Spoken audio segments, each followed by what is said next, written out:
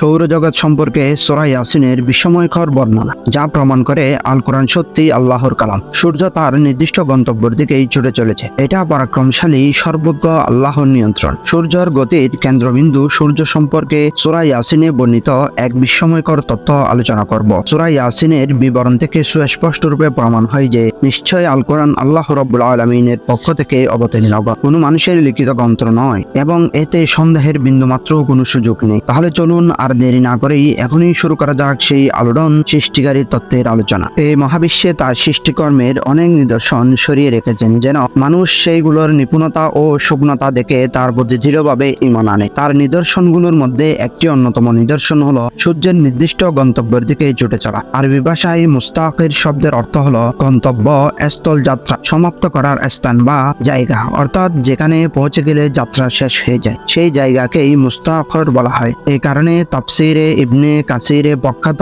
মুফাসসিররা বলেন, সূর্যের নির্দিষ্ট গন্তব্যের দিকে ছুটে চলা একটি অর্থ হলো, সূর্য তার গন্তব্যস্থল যাত্রা সমাপ্ত করার স্থান বা জায়গার দিকে ছুটে চলেছে। অর্থাৎ সূর্য এমন একটা জায়গার দিকে যাচ্ছে, যেখানে পৌঁছার পর তার চলা সমাপ্ত হয়ে যাবে। সেখানে পৌঁছার পর সে আর ফিরে আসবে না, আর আলো ছড়াবে না। পৃথিবীতে আর আলো আসবে না, ফলে পৃথিবী ধ্বংস হয়ে যাবে, যাকে বলা হয় কেয়ামত সংগঠিত হবে। প্রিয় দর্শক, এই কথার অর্থ হলো, আজ থেকে চোদ্দশো বছর আগে নাজিল হওয়া সোরা ইয়াসিনের তত্ত্বগুলো সূর্য কোনো স্থির নক্ষত্র নয়, অথবা শুধু নিজ অক্ষে ঘূর্ণয়মান নয়, বরং সেটা প্রতি মুহূর্তে আল্লাহ রবুল্লা আলমিন কর্তৃক নির্দিষ্ট গন্তব্যের দিকে একটু একটু করে এগিয়ে চলেছে, এক জায়গায় স্থির হয়ে বসে নেই।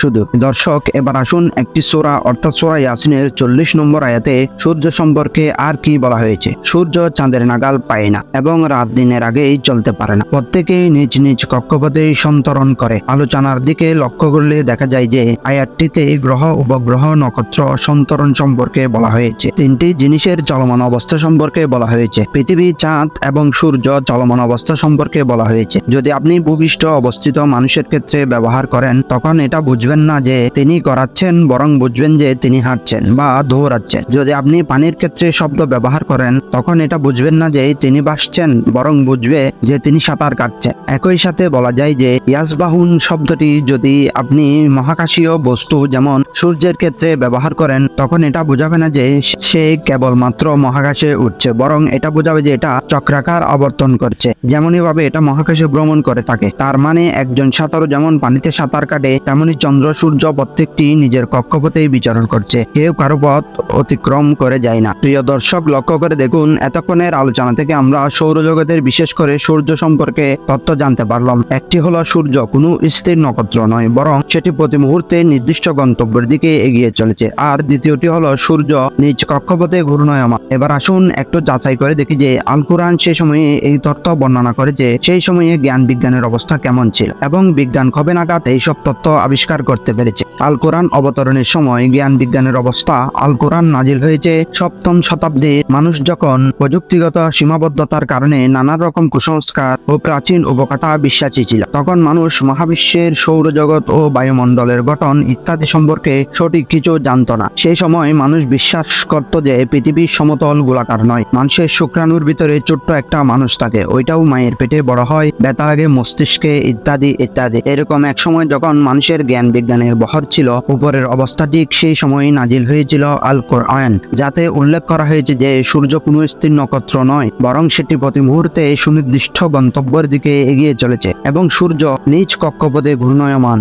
সৌরজগতের সন্তান সম্পর্কে আধুনিক বিজ্ঞানের আবিষ্কার টেকনোলজির বিশেষ যন্ত্রের সাহায্যে পরীক্ষা করে দেখেছে যে সূর্য একটি গতিশীল নক্ষত্র এবং সূর্যের বিভিন্ন মঞ্জিল বা অবস্থান করার স্থান আছে, যেটি প্রতি পঁচিশ দিনে একটি পূর্ণ বৃত্তাকার ঘূর্ণয়ন সম্পন্ন করে। অর্থাৎ নিজ অক্ষের চারিদিকে পদক্ষিণ করতে সক্ষম লাগে প্রায় পঁচিশ দিন। সুদীর্ঘকাল ব্যাপী ইউরোপের দার্শনিক বিজ্ঞানীগণ বিশ্বাস করতেন যে মহাবিশ্বের কেন্দ্রে পৃথিবী স্থির অবস্থায় বিদ্যমান রয়েছে এবং সূর্য সহ অন্যান্য সকল বস্তু এর চারিদিকে ঘুরছে। পাশ্চাত্য জগতে মহাবিশ্বের এই ভূকেন্দ্রিক খ্রিস্টপূর্ব দ্বিতীয় শতাব্দীতে টলমির সময় থেকে ব্যাপক হারে প্রচলিত ছিল। পনেরোশো বারো খ্রিস্টাব্দের নিকোলাস কোম্পানিকাস গ্রহের গতি সম্পর্কীয় সূর্যকেন্দ্রিক তত্ত্ব প্রদান করেন। এই তত্ত্ব দাবি করে যে, সৌরজগতের কেন্দ্র সূর্য গতিহীন অবস্থার কাছে আছে আর একে কেন্দ্র করে গ্রহগুলো এর চারিদিকে ঘূর্ণয়মান অবস্থায় রয়েছে। প্রিয় দর্শক, লক্ষ্য করলে শুনুন কোম্পানিকিয়াসের তত্ত্ব হলো, সূর্য সৌরজগতের কেন্দ্র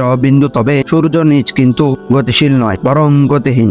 ষোলোশো নয় খ্রিস্টাব্দে জার্মান বিজ্ঞানী ইউহানেস ক্যাফলার অ্যাস্ট্রোনমিয়া নেবা নামে একটি আর্টিকেল প্রকাশ করেন। তিনি এই আর্টিকেলের উপসংহারে বলেন, সূর্যের চারিদিকে গ্রহগুলো উপবৃত্তাকার। কক্ষপথে শুধু ঘুরছে না, বরং তারা তাদের অনিয়মিত বেগে নিজেদের কক্ষে চারিদিকে ঘুরছে। এই জ্ঞানের আলোকে ইউরোপীয় বিজ্ঞানীদের পর্যায়ক্রমে রাত দিনের আগমন, সৌরজগতের বহু ধুমুকিচুরি কার্যসনদ পদ্ধতি, সঠিক বাক্য প্রদান সম্ভব হয়। এইসব আবিষ্কারের পর মনে করা হতো যে, সূর্য স্থির রয়েছে, পৃথিবীর নেই, সে তার কক্ষের চারিদিকে ঘুরে না। আর এই সময় আর এক সময় ইউহানেস ক্যাফলার এর তত তার সব সাময়িক কালে অপ্রমাণিত ছিল। অপ্রমাণিত ছিল বিদায়, সেই যুগের মানুষের কাছে এইসব ছিল গ্রহণযোগ্য। সত্য তত্ত্ব বলে বিবেচিত। বর্তমানে আধুনিক বিজ্ঞান ভুল প্রমাণ করেছে আর আমাদের সত্য জানিয়ে দিয়েছে। কেননা বিজ্ঞানের স্বভাব উন্নতির দিকে অগ্রসর হওয়া। আর ওইদিকে সূর্যের পরিভ্রমণ সম্পর্কে আল কোরআন বলেছে, তিনি সৃষ্টি করেছেন রাত্রি এবং সূর্য ও চন্দ্র, সকল মহাকাশীয় বস্তু। আপন আপন কক্ষপথে বিচরণ করে।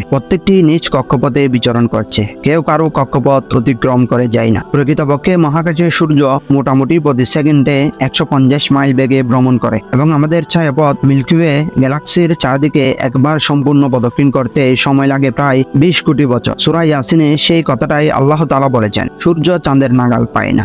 এবং রাত দিনের আগে চলতে পারে না। প্রত্যেকেই নিজ নিজ কক্ষপথে সন্তরণ করে। এই আয়াত এমন এক গুরুত্বপূর্ণ এবং সঠিক তত্ত্ব উল্লেখ করেছে, যা মাত্র সম্প্রতি আধুনিক যৌথ বিজ্ঞানের আবিষ্কার করতে সক্ষম হয়েছে। সূর্য ও চন্দ্রের পৃথক কক্ষপথ আছে এবং মহাকাশ তার নিজস্ব গতিতে ভ্রমণ করেই চলেছে। সূর্য সৌরজগৎ যেই মোস্তাকার যে নির্দিষ্ট স্থান অভিমুখে গমন করেছে, সেই স্থান থেকেই আধুনিক যৌথ বিজ্ঞানীরা সুনির্দিষ্টভাবে চিহ্নিত করে। এই স্থানের নাম দেওয়া হয়েছে সোলার ফ্যাক্স। সৌরচোলা বস্তুত মহাকাশ যে বিন্দুর দিকে দাবিত হচ্ছে, তা হারকিউলিস তারামণ্ডলী অবস্থিত। তাছাড়া আধুনিক বিজ্ঞানের বিশেষ টেকনোলজির বিশেষ যন্ত্রের সাহায্যে পরীক্ষা করে দেখেছে যে সূর্যের বিভিন্ন মঞ্জিল বা অবস্থান করার স্থান আছে, যা প্রতিটি পঁচিশ দিনে একটি পূর্ণ বৃত্তাকার ঘূর্ণয়ন সম্পন্ন করে। অর্থাৎ চক্রের চারিদিকে প্রদক্ষিণ করতে সূর্যের সময় লাগে প্রায় পঁচিশ দিন। আবার পৃথিবীর চারিদিকে প্রদক্ষিণ করতে চাঁদ যে সময় নেয়, সে একই সময় চাঁদ তার চক্রের চারিদিকে ঘুরে থাকে। একবার সম্পূর্ণ ঘুরে আসতে চাঁদের সময় লাগে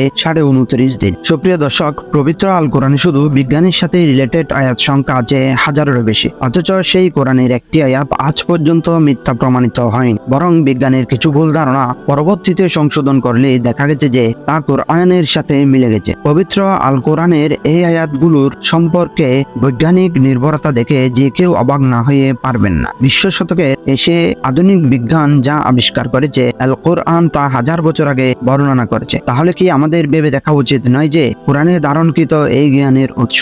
আল কোরআন তার অবতরণের সময় চ্যালেঞ্জ করে বলেছে, এটা সৌরজগতের স্রষ্টা এবং মহাবিশ্বের স্রষ্টা। আল্লাহর পক্ষ থেকে অবতীর্ণ মানুষের রচনা নয়। যদি কেউ মনে করে এটা মানুষের রচনা, তাহলে সে যেন কোরআনের মতো মাত্র একটি আয়াত হলেও রচনা করে। প্রমাণ করুক, শত শত লোক, শত শত সংগঠন এই চ্যালেঞ্জ মোকাবেলা করতে এগিয়ে এসেছে। কিন্তু সকলেই চরমভাবে ব্যর্থ হয়ে, সম্পূর্ণ নিরাশ হয়ে ফিরে যেতে হয় পবিত্র কোরআনে আল্লাহ তালা বলেছেন, আমি আমার বান্দার প্রতি যা অবতীর্ণ করেছি, যাতে তোমাদের বিন্দুমাত্র সন্দেহ থাকলে তোমরা অনুরূপ কোনো সূরা রচনা করো। যদি তোমরা সত্যবাদী হও তাহলে আল্লাহ ব্যতীত তোমাদের সকল সাহায্যকারীকে নিয়ে এসো। আর যদি রচনা করতে না পারো বস্তুত তোমরা কখন তা পারবে না? কখনো তা পারবে না। তাহলে সেই আগুনকে বয় করো, যার জ্বালানি হবে মানুষ ও পাতক সেই আগুন অস্বীকারীদের জন্য প্রস্তুত করে রাখা হয়েছে এই আল্লাহ। আমরা জিরুচিত্রে বিশ্বাস করি, নিশ্চয়ই আপনি সৌরজগতের স্রষ্টা, মহাবিশ্বের স্রষ্টা, এবং আল কোরআন আপনারই রচনা। কেননা, জ্ঞানের অন্ধকার যুগের সৌরজগতের স্রষ্টা ব্যতীত